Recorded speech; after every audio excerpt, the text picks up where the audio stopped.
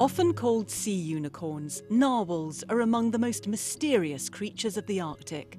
Their frozen habitat has made them hard to study, but as the ice melts, these aquatic mammals are becoming more accessible to scientists who hope to solve perhaps the biggest mystery of them all the purpose of the narwhal's tusk. A lot of people think this tusk is a horn, but it's not. It's a tooth, isn't it? And you're a dentist, which I suppose makes sense. And in this case, probably a dentist for one of the most extraordinary marine mammals on the planet. I think it's a sensory organ. The research that we've been conducting for the last 16 years has shown tiny nerve connections between the outside of this tusk and its inner nerve, which is innervated directly to the brain. It's a sensory probe, if you will. That's one of many theories, although most scientists believe the tusk is used by males to attract females. This exhibition presents an overview of the latest research. It also shows how narwhals are changing their behaviour due to habitat loss caused by climate change and how that affects the Inuit, who have depended on narwhals for thousands of years.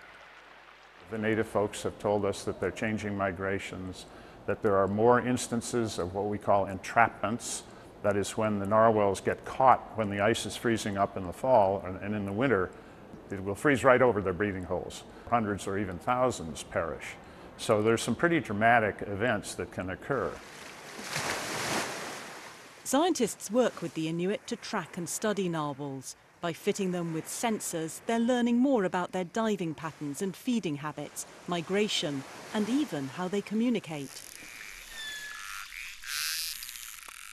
These sounds were recorded underwater, but when predators are detected, the narwhals become quiet.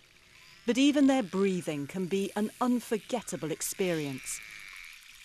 I was on the ice, and it was two in the morning roughly, and I heard the breathing sound of just one whale come up.